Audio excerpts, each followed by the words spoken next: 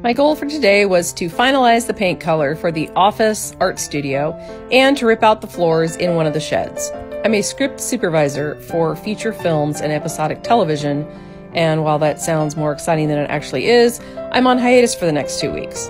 Hiatus is a fancy word for unemployed, as in, you ain't got no job, you ain't got no money, and you ain't got shit to do.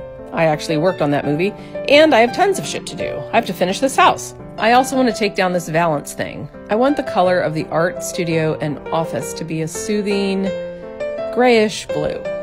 The swatch looked a grayish blue, but on the walls it doesn't. I want to have a similar soothing blue in the bedroom, one that goes with the walls in the bathroom I already painted.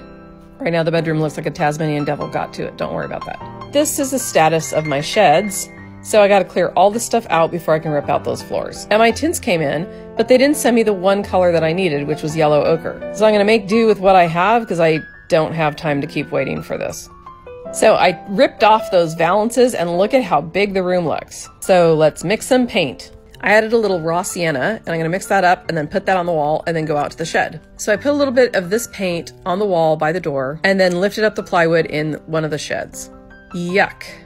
I had to use my crowbar to chop this piece in half, and it was so rotted that it really didn't take that much. I'm doing this all by myself, so it's a lot of work. This is what came out of the shed, and this is what I was left with to clean. Then I used my crowbar again to lift the shed up and slide these pavers underneath. Once I got the shed lifted on pavers, then I cleaned it out. I even hosed it out, and then this is all the crap that I got out of there.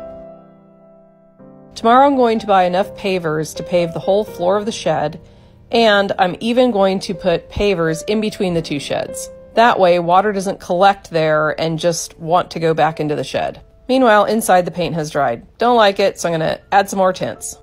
You just can't tell the difference on that back wall, but this is what it ended up looking like right here. I kind of like that, so I'm just going to go with that. I don't like it in the bedroom, though. It's too dark.